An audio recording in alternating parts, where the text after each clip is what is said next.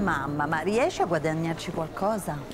Oddio, intanto un lavoro pagato lo trovo, eh? eh tipo vetrine, serrande. Però fortunatamente non mi devo pagare un affitto. Sai che mi sembra in Brasile le chiese pagano quelli come te per fargli dei murales. Chi è che me l'aveva detta sta cosa? Nessuno, Nadia. È una delle tue cazzate. Senti, eh, mentre io e Fabio andiamo da quella parte a comprare un regalo, perché tu non vai dall'altra parte a comprarne uno tuo? Mm? Te lo sei scordata? No, non me lo sono scordata per niente, solo che mi sono detta ma cosa regalo a ste ragazze?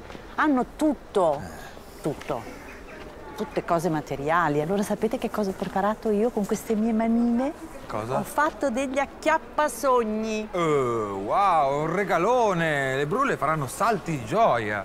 Vabbè, la trovo un'idea carina, dai. Ma perché tu sei carino? Ma quando mi stai simpatico? Ti offro il pranzo. Mm, no, no, no, no, no, non ha fame. Tu parla per te. Qui dietro, a due passi, c'è il ristorante cinese dove lavoro. Ma quando mi ricapita di avere mio figlio e il suo fidanzato tutti per me, dai, andiamo, Eros. No, no, non si pranza al cinese. Al cinese si va soltanto strafatti e ubriachi. Vabbè, due ravioli li possiamo mangiare, dai.